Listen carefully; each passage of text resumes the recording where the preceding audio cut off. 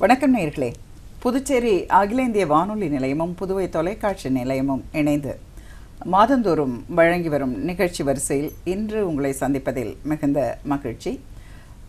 இன்று நாம் தெரிந்து கொள்ள இருப்பது தொற்று நோய்களால் பாதிக்கப்படும் நம் நல்வாழ்வு குறித்து. இது குறித்த பல செய்திகளையும் நம்மோடு பகிர்ந்துக்க இருக்கிறாங்க. புதுச்சேரி அரசின் நலவழித்துறை தொற்றுநோய் கண்காணிப்பு பிரிவில் பணிபுரியும் டாக்டர் ஸ்ரீவித்யா அவர்கள். வணக்கம் மேடம். வணக்கம். அனைவருக்கும் புத்தாண்டு வாழ்த்துக்கள். தொற்றுநோய்களின் பிடியிலிருந்து எல்லாம் நல்லபடியாக விடுபடணும் அப்படிங்கிற வாழ்த்துக்களோட நம்ம நிகழ்ச்சியை தொடங்கலாம் மேடம். கண்டிப்பாக முதல்ல தொற்று நோய்கள் அப்படின்றத பற்றின அறிமுகத்தை நம்ம நேயர்களுக்கு தரலாமா? தொற்று நோய்னு எதையெல்லாம் நம்ம குறிப்பிடுறோம்? தொற்று நோய்ங்கிறது வந்து பொதுவாக ஒரு நுண்கிருமியின் தாக்கத்தால் நமக்கு ஏற்படக்கூடிய நோய். இது ஒருத்தரிடமிருந்து இன்னொருத்தருக்கு பரவக்கூடியது. சில வேளைகளில் வந்து சில பூச்சிகள் மூலமாகவோ அப்படி இல்லை கொசுக்கள் மூலமாகவோ கூட ஒருத்தரிடமிருந்து இன்னொருத்தருக்கு அது பரவும். ஸோ இது வந்து ஏற்படும் பொழுது நம்ம கூட இருக்க மற்றவங்களையும் பாதிக்கிறதுனால இது தொற்று நோய் அப்படின்னு நம்ம சொல்கிறோம் ம். அஹ் இப்போ அதற்கான உதாரணங்கள் நம்ம நடைமுறை வாழ்க்கையில் என்னென்ன நோய்கள்லாம் அந்த மாதிரி இருக்குன்றதை பற்றி கொஞ்சம் விரிவாக சொல்லலாமா? இப்போ நாம் வந்து பார்த்துட்டு இருக்கிற இந்த கொரோனா இதுவே ஒரு தொற்று தான் நோய் தொற்றுனால ஏற்படுற ஒரு தொற்று நோய் தான் இது போல் நம்ம வந்து டெங்கி சிக்கன்குனியா இது போன்ற பல தொற்று நோய்கள் நமக்கு ஏற்கனவே தெரிஞ்சிருக்கு. டைஃபாய்டு ஜுரம் அப்படின்னு சொல்கிறோம் இதெல்லாமே வந்து கிருமிகளால் நமக்கு ஏற்படக்கூடிய தொற்று நோய்கள். ஆனால் இதில் முக்கியமான ஒரு விஷயம் நல்ல விஷயம் என்னன்னு பார்த்தீங்கன்னா இதை நம்மளால் தவிர்க்க முடியும். தவிர்க்க முடியும் அப்படின்னா முதல்ல அதை பற்றி நம்மளுக்கு தெரியணும் இல்லையா? இந்த கிருமிகள்லாம் எங்கிருந்து வருது? அதுக்கு நாம காரணமா அல்லது இயல்பிலேயே அவை பெருகுதா? இந்த மாதிரியான விஷயங்கள்லாம் தெரியணும் இல்லையா? கண்டிப்பாக தொற்று நோய்கள் நமக்கு ஏற்படுத்தக்கூடிய கிருமிகள் வந்து எப்பயும் இருந்துக்கிட்டு தான் இருக்குது அது காற்றுல இருக்க மண்ணில் இருக்குது இருந்துக்கிட்டே தான் இருக்குது ஆனால் நாம் வந்து நம்ம சுத்தமாகவும் இருந்துக்கிட்டு நாம் இருக்கக்கூடிய இடத்தையும் நம்ம வ- வசிக்கக்கூடிய அந்த பகுதியையும் சுத்தமாக வச்சுக்கிறது ரொம்ப ரொம்ப முக்கியம். அதே நேரத்தில் நம்ம கிருமிகள்லாம் வந்து மூக்கு வழியாவோ கண் வழியாவோ வாய் வழியாவோ இது போல் ஏதாவது ஒரு துவாரத்தின் வழியாக அது நமக்குள்ளே போய் அது வந்து தொற்று நோயை ஏற்படுத்துது. அப்போ இதுவுமே வந்து நம்ம உடலுக்குள்ளே போய் அது மல்டிப்ளை ஆகணும். நிறைய பெருகணும். பெருகி அந்த நோயை ஏற்படுத்தணும். அப்படிங்கிறப்போ நம்மளுடைய நோய் எதிர்ப்பு தன்மை நல்லா இருந்தால் கூட தொற்று நோய்கள் நம்ம என்ன ஜாக்கிரதையாக இருந்தாலும் கிருமிகள் உள்ளே போகும்பொழுது நமக்கு நோயை ஏற்படுத்துறது கிடையாது. அதனால் நாம் சுத்தமாக இருக்கிறது நம்ம சூழ்நிலையை சுத்தமாக வச்சுக்கிறது நம்ம நோய் எதிர்ப்பு தன்மை நாமளும் வந்து ஏதாவது ஒரு சின்ன உடற்பயிற்சி பண்ணிக்கிட்டு தினமும் அதே மாதிரி நல்ல ஆரோக்கியமான பழக்க வழக்கங்கள் நல்ல உணவுகள் சத்தான உணவுகளை சாப்பிடும் பொழுது நம்ம இந்த தொற்று நோய்களால் அதிகம் பாதிக்கப்படாமல் நம்மளை பாதுகாக்க முடியும். இப்போ நீங்கள் குறிப்பிட்ட இந்த தொற்று நோய்களை பற்றி கொஞ்சம் விரிவாகவே பார்க்கலாம். இப்போ ஒரு ஆண்டில் சில மாதங்கள் சில திடீர்னு வந்து டெங்கு பற்றிய மலேரியா பற்றிய எச்சரிக்கைகள் கொடுத்துட்ருப்பாங்க இப்போ வந்து டைஃபாய்டு வரும் அதனால் எச்சரிக்கையாக இருங்க அப்படின்னு. இப்போ நலவழித்துறை அந்த மாதிரி எச்சரிக்கைகள்லாம் தர்றாங்க இல்லையா? அந்த மாதிரி இந்த சீசனில் தான் இந்த கிருமி பரவும் அப்படின்ற மாதிரியெல்லாம் இருக்குங்களா?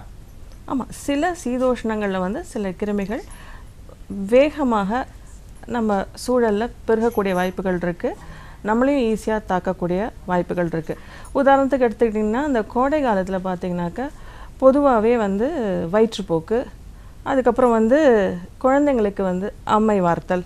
ஸோ இதெல்லாம் வந்து கோடை காலத்தில் நம்ம அதிகமாக பார்க்க முடியும். இது வந்து ஏன் ஏற்படுறது அப்படின்னு சொன்னால் நம்ம நம்ம வந்து ஜாக்கிரதையாக இருக்கணும். நம்ம குடிக்கக்கூடிய தண்ணீர் முதற்கொண்டு வந்து நல்ல சுத்தமாக காய்ச்சி ஆரிய தண்ணீராக இருக்கணும். எல்லாருமே வந்து ஏதோ ஒரு அலுவல் காரணமாக வெளியில் போகிறோம் நிறையா இடங்களுக்கு நம்ம பயணப்படுறோம். அப்போ நம்ம தாகத்துக்கு கண்டிப்பாக கோடை காலத்தில் வந்து நாவறட்சிங்கிறது எல்லாருக்கும் வரத்தான் வரும். அப்போ நம்ம கையில் சுத்தமான தண்ணி வச்சுக்கணும். அதே மாதிரி வெளியில் சாப்பிட வேண்டிய நிர்பந்தம் இருந்தால் கூட கைகளை நல்லா கழுவிடணும். அதே மாதிரி நகங்களை வந்து நம்ம நல்லா ஒட்ட நறுக்கிக்கணும். ஏன்னா அந்த நகை இடுக்குகளில் தான் கிருமிகள்லாம் வந்து சேர்ந்து அது நம்ம உணவு சாப்பிடும்போது அது வழியாக உள்ளே போகுது. அது வந்து நமக்கு நோய் தொற்றையும் ஏற்படுத்திடுது. அதனால் கண்டிப்பாக கோடை காலத்தில் நம்ம வெளியே போகும்பொழுது கையில் சுத்தமான தண்ணி நம்ம வீட்டில் காய்ச்சி ஆறின தண்ணி சுத்தமான பாட்டிலில் எடுத்துகிட்டு போகிறது எப்பயுமே நல்லது. இதெல்லாம் தாண்டியும் சில உணவுகளால் கூட சில நேரங்களில் வயிற்றுப்போக்கு வரும்.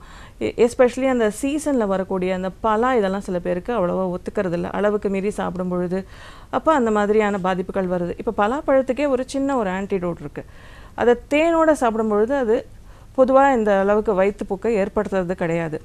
அதே நேரத்தில் வெய்ய நாளில் நல்ல காத்தோட்டமும் வேணும். தேவையான அளவு தண்ணி குடிக்கணும்.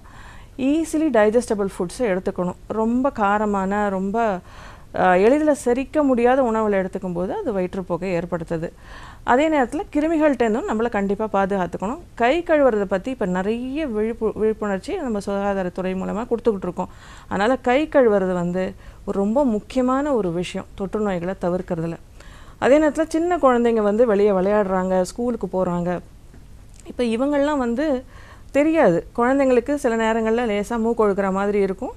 ஆனால் அவங்கக்கிட்ட இருக்கிற சில அம்மை தொற்றுக்களால் இது கூட விளையாடுற குழந்தைகளுக்கும் அம்மை ஏற்படுறதுக்கான வாய்ப்புகள் இருக்குது என்ன தான் நம்ம வந்து இப்போது ஸ்கூல்ஸ் இப்போ தான் ஓப்பன் பண்ணியிருக்கு.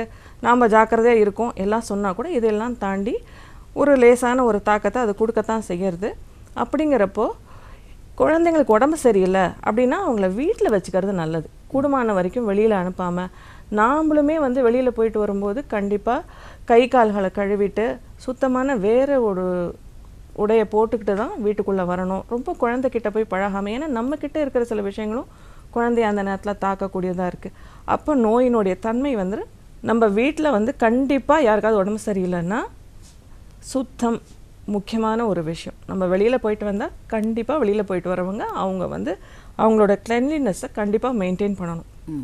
அதே மாதிரி இந்த குழந்தைக்கு வந்து முழுசாக சரியாகிற வரைக்கும் குழந்தைங்கள வெளியில் அனுப்பவே கூடாது. பக்கத்தில் இருக்கிற மருத்துவ அதிகாரியை சந்தித்து அவங்க fit to go to school fit to go out அப்படின்னு அவங்க சொல்லும் பொழுது தான் குழந்தைங்கள வெளியில் அனுப்பணும். தொற்று நோய்கள் பற்றியெல்லாம் நம்ம சில செய்திகளை குறிப்பிட்டீங்க. இது வந்து சீசனல் அப்படின்ற அந்த விஷயங்கள்லாம் சொன்னீங்க. எப்படியெல்லாம் நம்ம வந்து பாதுகாப்பாக இருக்க முடியும் அப்படின்றத பற்றி கொஞ்சம் சொல்லுங்கள் மேடம். முக்கியமானது வந்து நம்மளுடைய சுத்தம். அதே போல் நம்ம வசிக்கக்கூடிய வீடு நம்மளோட சுற்றுச்சூழல் இதெல்லாம் வந்து கண்டிப்பாக நம்ம சுத்தமாக வச்சுக்கணும். இதுலேயே வந்து நம்ம பாதி நம்ம நோய் கிருமிகள்கிட்டேருந்து நம்மளை தற்காத்து கொள்ள முடியும். அதே நேரத்தில் நம்ம உடல் ஆரோக்கியமும் ரொம்ப ரொம்ப முக்கியம். ஏன்னா நோய் தொற்றுகள் என்ன தான் நம்ம சுத்தமாக இருந்தாலும் நம்மளை மீறி நம்ம சுவாசிக்கும் பொழுதோ இல்லை ஏதாவது சாப்பிடும்போதோ உள்ளே போகத்தான் செய்யும். நம்மளுடைய நோய் எதிர்ப்பு சக்தி நல்லா இருக்குது அப்படிங்கிற பட்சத்தில் தொற்று நோய் கிருமிகள் வந்து நோயை ஏற்படுத்தாமல் நம்மளுடைய எதிர்ப்புத்தன்மை நம்மளை காப்பாற்றும். ஸோ அப்படிங்கிறப்ப வந்து நம்மளுடைய ஆரோக்கியத்தை பேணுறது ரொம்ப ரொம்ப முக்கியம். அட்லீஸ்ட் ஒரு நாளைக்கு ஒரு அரை மணி நேரம் எக்ஸசைஸ் அது பண்ணணும். நல்லா சுத்தமான வீட்டில் சமைச்ச சத்தான ஆரோக்கியமான உணவை நம்ம எடுத்துக்கணும். சுத்தமான உடைகளை நம்ம போட்டுக்கணும். அண்ட் எஸ்பெஷலி வந்து கோடை காலத்தில் காத்தோட்டமான உடைகள் காட்டன் துணி இதெல்லாம் வந்து நல்லது. குளிர்காலத்தில் இல்லாட்டா மழை காலத்தில் வந்து கொசுக்கள் இருக்கிறதுனால நம்மளை ஃபுல்லாக கவர் பண்ணக்கூடிய ஃபுல் ஸ்லீவ் ஷர்ட்ஸு பேண்ட்ஸு இது மாதிரி போட்டுக்கிறது நல்லது. ஏன்னா கொசுக்கடியிலேருந்து நம்மளை நம்ம பாதுகாத்துக்கணும். அதுவும் முக்கியம். ஏன்னா பொதுப்படியாக இந்த டெங்கு சிக்கன்குனியா இது போன்ற தொற்றுக்கள்லாம் வந்து கொசுக்கள் இருந்தால் மட்டும்தான் பரவும். இந்த கொசுக்கள்லாம் வந்து சுத்தமான தண்ணியில் தான் உற்பத்தி ஆகுது. நம்மளை சுற்றி இருக்கக்கூடிய குப்பைகள் அந்த நெகிழின்னு சொல்கிறோம் பிளாஸ்டிக்ஸ் மக்காத அந்த குப்பைகளில் சேரக்கூடிய சுத்தமான மழை நீர் இது ஒரு ஒரு வாரம் தங்கினாலே போதும். இதில் வந்து கொசுக்கள் உற்பத்தி ஆகும் இந்த கொசுக்கள் தான் முக்கியமாக டெங்கு சிக்கன்குனியா போன்ற காய்ச்சல்களை நான் அந்த ஏற்படுத்தக்கூடிய கிருமியை நம்மளுக்கு கொண்டு வந்து சேர்க்குது. இது வந்து ஒருத்தர்ட்டேருந்து இன்னொருத்தருக்கு நேரடியாக பரவாது. கண்டிப்பாக இந்த கொசு இல்லை அப்படிங்கிற பட்சத்தில் டெங்கு சிக்கன்குனியாவும் இல்லை. அதனால் கொசுக்கள் இல்லாமல் நம்ம பார்த்துக்கிறது நல்லது. கொசுக்கடியிலேருந்து நம்மளை நம்ம பாதுகாத்துக்கணும். அதனால் அந்த சீசனுக்கு தகுந்த உடைகளை நம்ம போட்டுக்கணும். இன்னொன்று பார்த்தீங்கன்னா கோடை காலத்தில் பொதுப்படியாக வந்து வயிற்றுப்போக்கு இந்த கம்ப்ளைண்ட்ஸ் அதிகம் இருக்குது அதே மாதிரி குழந்தைங்களுக்கு அம்மை நோய் இதெல்லாம் வருது. இந்த வயிற்றுப்போக்கு அப்படிங்கிறது பார்த்திங்கன்னா சுத்தமில்லாத தண்ணி அப்புறம் நம்ம சுத்தமில்லாத கைகள் அப்புறம் உணவு கெட்டுப்போன உணவு அப்படி இல்லை கண்டாமினேட் ஆன அந்த ஃபுட் ஸோ இதை மாதிரி நம்ம எடுத்துக்கரிச்சே தான் அந்த வயிற்று வயிற்றுப்போக்கு அந்த அதனால் ஏற்படக்கூடிய ஜுரம் இதெல்லாம் வந்து வருது. அப்படிங்கிறப்போ கைகளை கண்டிப்பாக நல்லபடியாக நம்ம கழுவணும். கை கழுவுறதை பற்றி இப்போ நிறைய அவேர்னஸ் கிடச்சிக்கிட்டு இருக்கு. அண்ட் நிறைய இடத்துல வந்து சுகாதார ஊழியர்கள் வந்து பொதுமக்களுக்கு அதை செஞ்சும் காமிக்கிறாங்க. அதே மாதிரி குழந்தைகளுக்கு ஏற்படக்கூடிய இந்த கோடை காலத்தில் வரக்கூடிய அம்மை தொற்று. இது வந்து பொதுவாக ப பள்ளிக்கு போகிற குழந்தைகளுக்கு ஒருத்தரோட ஒருத்தர் வேகமாக அது பரவக்கூடிய தன்மை உள்ளது. அதனால் குழந்தைக்கு எப்போ ஜுரம் லேசாக சளி பிடிச்சிருக்கு. அதே மாதிரி உடம்புலலாம் வந்து ரேஷஸ் மாதிரி வரும். ஒன்று அது கொப்பளங்களை போல் கூட இருக்கும். ஒன்று ஒரு ஒரு அம்மைக்கும் ஒரு ஒரு ஒரு விதமான இது இருக்குது அந்த கொப்பளங்கள் வந்து ஸ்பெசிஃபிக்காக இருக்கும்.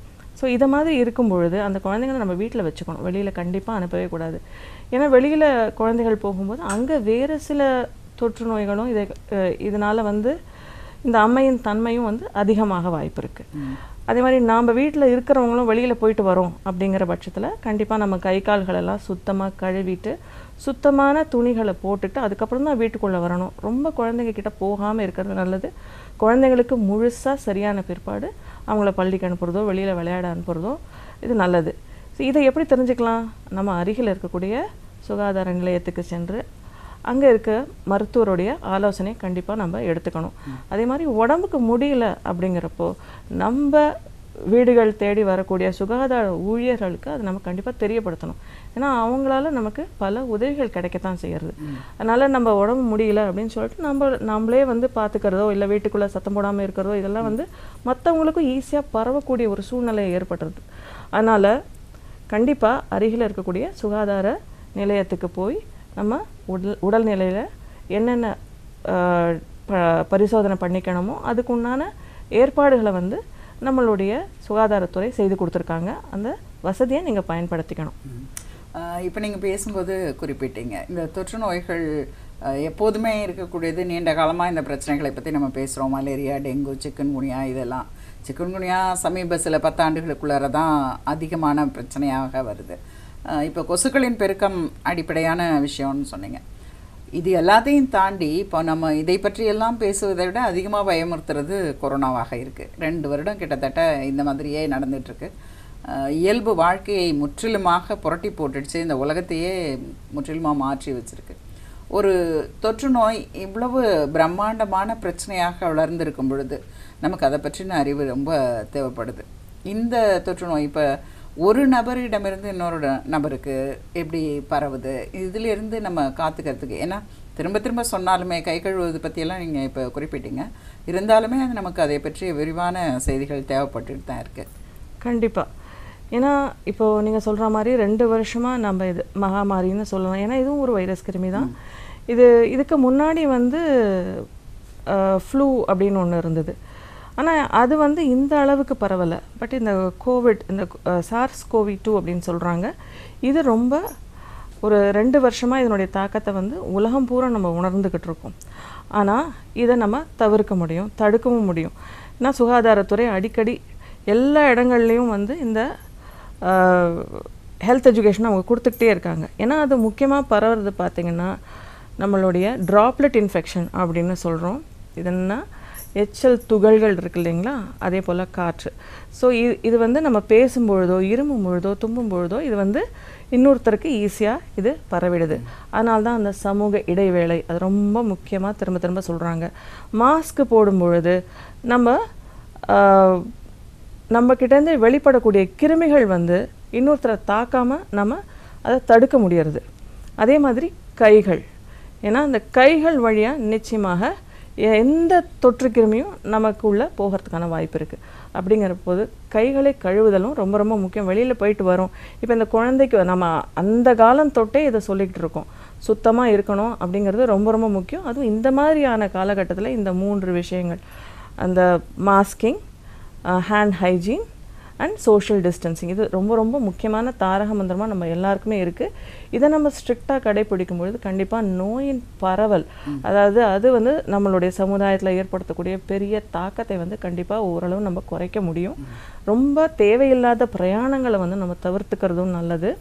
ஸோ இது இதெல்லாம் ரொம்ப முக்கியம். அதே நேரத்தில் இருமும் போதும் தும்பும் போதும் கண்டிப்பாக நம்ம வாயை மூடிக்க வேண்டிய கட்டாயம் இருக்குது அதுவும் இப்படி இல்லாதக்கு இப்படி வாயை மூடிக்கும் பொழுது அந்த நோய் தொற்று வேகமாக பரவுவது வந்து தடுக்கப்படுது இது ரொம்ப ரொம்ப அவசியமான ஒரு காஃப் எத்திகெட் அப்படின்னு சொல்கிறோம் இது இதை வந்து அரசு மற்றும் சுகாதாரத்துறை ரொம்ப வலியுறுத்திட்டு இருக்கு.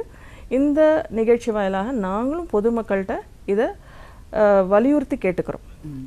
முக்கியமா இப்போ நீங்க கையாலேயே செய்தே காமிச்சிங்க. முழங்கையை கொண்டு வாயை மறைத்துக் கொள்வது. நம்ம மாஸ்க் பயன்படுத்துகிறோம் அப்படியே இல்லாட்டினாலும் இந்த மாதிரி ஒரு தும்மலோ இருமலோ வரும் பொழுது நம்ம வந்து உள்ளங்கையால் அதை மறைத்து கொள்ளாமல் வழக்கமாக அதை தான் செய்வோம். கைக்குட்டையோ அல்லது உள்ளங்கையோ வச்சு டக்குன்னு மூடிப்போம். அந்த இருமல் தும்மலுக்கான ஒரு சபை நாகரிகம் கருதி அந்த மாதிரி. இப்போ வந்து தொற்றுக்காக ஒரு புது நாகரிகமே நம்ம கண்டுபிடிக்க வேண்டியதாக இருக்குது உண்மைதான் உண்மைதான். ஆனா இது ரொம்ப ரொம்ப முக்கியமானது. நோயின் பரவுதலை கட்டுப்படுத்துறதுனால இதை அனைவரும் வந்து பின்பற்றணுங்கிறத நாங்க கேட்டுக்கிறோம். ஆமா நீங்க இந்த முழங்கை ஏன் அப்படின்றத கூட வி- விளக்கமா சொல்லலாம். புரிஞ்சுப்பாங்க இல்லையா? நம்ம ஏன் இந்த முழங்கையை கொண்டு நம்ம அந்த இடத்த ம மறைக்கணும் அப்படின்னு. ஏன்னா உள்ளங்கைகளால் நம்ம மூடும் பொழுது இந்த நோய் தொற்றுகள் நம்ம உள்ளங்கையில் தான் இருக்கும். அதை நம்மளை மீறி நம்ம என்ன பண்ணுவோம்? அடுத்தது கண்ணில் ஏதாவது அரிக்கும் இல்லை இன்னொருத்தர் நம்ம கையை கொடுக்குறோம். அப்படிங்கிறப்போ நாம்ளே நம்ம நோயின் தொற்றுக்கு இன்னுமே சிவியாரிட்டிக்கு நம்ம ஒரு வளரபிள் ஆகிடுறோம் இன்னொருத்தருக்கு கை கொடுக்கும்போது அவங்களுக்கும் இந்த தொற்றை நம்ம கொடுத்துடுறோம். ஏன்னா ஒரு ஒரு தடவை ஞாபகமாக நம்ம கையாளும்புறது கிடையாது. அதே மாதிரி கைக்குட்டைகளை உபயோகப்படுத்தும் பொழுது அதை கண்டிப்பாக அது நனைஞ்சிடுச்சு அப்படிங்கிற பட்சத்தில் அதை கண்டிப்பாக துவச்சி வெயிலில் உலர்த்தி அட்லீஸ்ட் டூ டைம்ஸுக்கு அப்புறம் அதை டிஸ்கார்ட் பண்ணுறது நல்லது. அதே மாதிரி டிஷ்யூஸையும் வந்து கரெக்டாக நம்ம க அதை டிஸ்போஸ் பண்ணணும். முக்கியமானது. ஏன்னா இதை இன்னொருத்தர் வந்து மிதிக்கும் பொழுதோ இல்லை அவங்க க்ளீன் பண்ணும் பொழுதோ அவங்களுக்கும் இது பரவுறதுக்கான ஒரு சாத்தியமாக இருக்குது அதனால அதை கரெக்டாக நம்ம டிஸ்போஸும் பண்ணணும். இது ரொம்ப ரொம்ப முக்கியம். அதே மாதிரி இந்த முழங்கை பகுதினா அவ்வளோ சட்டுன்னு அந்த இடத்துல இருந்து நம்ம கை கை அதை தொடறதுக்கான வாய்ப்பு இல்லை. இன்னொரு இடத்துல வந்து அது படுறதுக்கான வாய்ப்பு ரொம்ப ரொம்ப கம்மி. அது நமக்கு நினைவும் இருக்கும். கையை கழுவும்போது அதனால தான் வெறும் மணிக்கட்டோட நிறுத்திக்காம இந்த எல்போஸ் முழங்கை வரைக்கும் நம்ம வந்து கையை கழுவிக்கணும். அந்த நாற்பது செகண்ட் அப்படின்னு வலியுறுத்துறாங்கல்ல. அஹ், எதனால மேடம் இப்போ வந்து இந்த விரல் இடுக்குகள் அதையெல்லாம் நம்ம வந்து சாதாரணமா செய்யலைன்றதுக்காக ஒரு கணக்கா அது அந்த நாற்பது செகண்ட்ன்றது கணக்குங்கிறது இல்லை ஏன்னா இது ஏற்கனவே நம்ம பார்த்தோம். கண்டிப்பாக நகங்களையும் வந்து நம்ம ரெகுலராக கிளிப் பண்ணணும் அப்படின்னு சொல்கிறோம் ஏன்னா இந்த கிருமிகள் வந்து இடுக்குகளில் இருக்கும். அது ஈரப்பதம் இருக்கும்போது வேகமாக மல்டிப்ளையும் ஆகும். அதனால் கம்ப்ளீட்டாக நம்ம வந்து அதை போக்கணும் அப்படிங்கிறப்போ முதல்ல கையை நினச்சிக்கணும். அதுக்கப்புறம் சோப் போட்டுக்கணும். உள்ளங்கைகளை முதல்ல நல்லா நம்ம தேய்க்கணும். அதுக்கப்புறம் விரல் இடுக்குகள் உள்பக்கம் வெளிப்பக்கம் அதுக்கப்புறம் நகக்கண் பெருவிரல் அப்புறமா மணிக்கட்டு. ஸோ இதெல்லாம் நீங்கள் கம்ப்ளீட்டாக சுத்தம் பண்ணுறதுக்கு உங்களுக்கு அந்த டைம் தேவை. அதுக்கப்புறமா சுத்தமான தண்ணீருக்கு கீழே வச்சுட்டு நல்லா கழுவின பிற்பாடு கைகளை மேலே தூக்கும் பொழுது தண்ணி இப்படியே வழிஞ்சு போயிடும். ஸோ இதுதான் கரெக்டான மெத்தட். நம்ம கை கழுவுவது அதே போல் கையை வந்து இப்போ சானிடைசர் கொண்டு பயன்படுத்திக்கிறது இருக்கு இல்லையா? அது ஒரு தற்காலிக துப்புரவு அந்த தற்காலிகம் தான். கரெக்டான வார்த்தையை சொல்லியிருக்கீங்க. தற்காலிகம் தான் அது. க கைகளை சோப்பு போட்டு கழுவுறது வந்து எப்பயுமே சிறந்தது. அதுக்கான ஸ்கோப் இல்லை அப்படிங்கிற பட்சத்தில் அட்லீஸ்ட் நம்ம சானிடைசர்ஸை கையில் வச்சுக்கிறது நல்லது. இந்த தொற்றிலிருந்து பாதுகாத்துக்கிறதுக்கு இப்போ மீண்டும் வரிசைப்படுத்தினோம்னா தனிநபர் இடைவெளி முகத்தில் முகக்கவசம் தவறாது சரியாக அணிஞ்சுக்கிறது. கரெக்டாக அதே மாதிரி நம்ம இந்த கை சுத்தம் பேணுவது தேவையற்ற பயணங்கள் கூடுதல் இதையெல்லாம் வந்து தவிர்க்கிறது இப்படி பல விஷயங்களை வலியுறுத்துகிறோம் இந்த தொற்றிலிருந்து விடுபடுவதற்கு ஏன்னா ஏற்கனவே பழைய காலத்துல எல்லாம் வந்து பிளேக் இருந்தது அந்த மாதிரியெல்லாம் குறிப்பிடுவாங்க. இப்போ நம்ம வரலாற்றில் பார்க்கக்கூடிய விஷயமா மாறி இருக்கு இல்லையா? அப்படி ஒரு காலம் கொரோனாவுக்கும் வந்து விடுமா? கொரோனாவை வந்து நம்முடைய வரலாற்றில் மற்றும் இருந்து மனிதர்களுக்கு மத்தியில் கொரோனா இல்லாமல் வாய்ப்பு இருக்குது அதாவது இந் அரசு காட்டும் வழிமுறைகளை நம்ம சரிவர கடைபிடித்தால் அதற்கான வாய்ப்பு நிச்சயமாக இருக்குது ஆனால் வைரஸ் அதனுடைய தன்மை என்னென்னா அது மியூட்டேட் அதாவது அது வந்து வ வளர்ச்சி மாற்றம் அடைஞ்சுக்கிட்டே தான் இருக்குது ஆனாலுமே நாம் வந்து நம்மளை தற்காத்து கொள்ளுதலில் ஒரு முக்கியத்துவம் கொடுக்கும் பொழுது இதனுடைய பரவலை கண்டிப்பாக வெகுவாக நம்மளால் தவிர்க்க முடியும். இப்போ நீங்கள் குறிப்பிட்ட இந்த விஷயத்தை பற்றி நம்ம தெரிஞ்சுக்கலாம். அதாவது வைரஸினுடைய உருமாற்றம். முதல் வருஷம் இருந்ததுலேருந்து மறு வருஷம் டெல்டா வைரஸ் அப்படின்னு குறிப்பிட்டாங்க. இப்போ வந்து ஒமைக்ரான்ற பேர் குறிப்பிடுறாங்க. இந்த மாற்றங்கள் இந்த தொற்று நோய்களில் எப்படி நேருது? இதை வந்து மக்கள் வந்து இது நேராமல் தடுக்கணும்னா நம்ம என்ன பண்ணிக்கணும்? அரசு வந்து நிறைய ஏற்பாடுகள் செய்கிறது ஒரு பக்கம். பொதுமக்கள்கிட்ட என்ன விழிப்புணர்வு இருக்கணும்? அதாவது இது அதிகமாக பரவும் பொழுது நிறைய பேருக்கு பரவும் பொழுது இது இந்த மாதிரி ஒரு உருமாறுதலை ஏற்படுத்துக்க ஏற்படுறதுக்கான ஒரு வாய்ப்பை வந்து நாமளே அதுக்கு ஏற்படுத்தி கொடுக்குறோம்.